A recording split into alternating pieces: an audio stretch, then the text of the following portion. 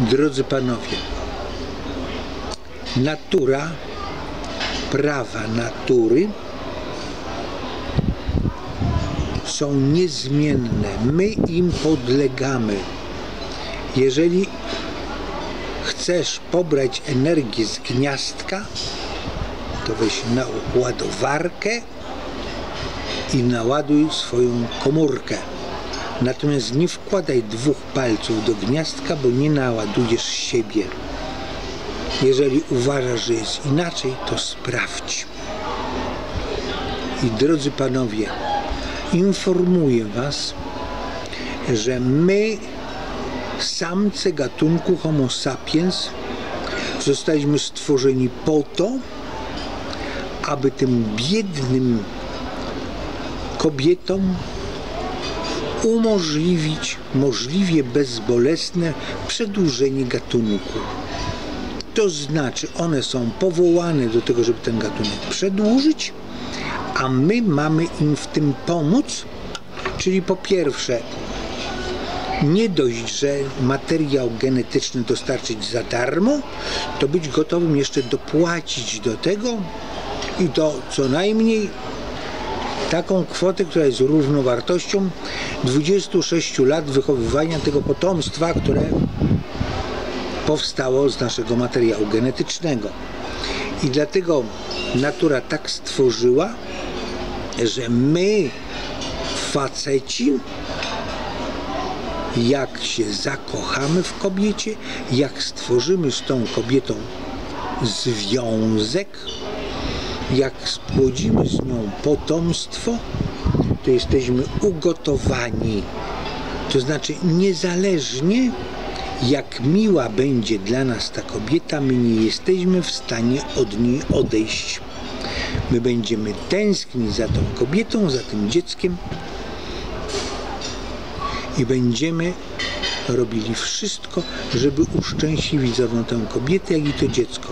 Oczywiście, jeżeli wiemy, że od razu się znajdzie któryś lub któraś, która zaprzeczy, że bywają wyjątki. Tak, wyjątki bywają, ale każdy wyjątek też podlega pod jakieś inne prawo, którego dzisiaj nie będę omawiał. Dzisiaj mówię o tej naczelnej regule. Drodzy panowie, uświadomcie sobie, że to, że kochasz kobietę romantyczną, cudowną miłością, to jest to spowodowane testosteronem wymieszanym z dehydroepiandosteronem, z wazopersyną i jeszcze z wieloma innymi hormonami jak prolaktyna, oksytocyna i parę jeszcze innych estrogenu.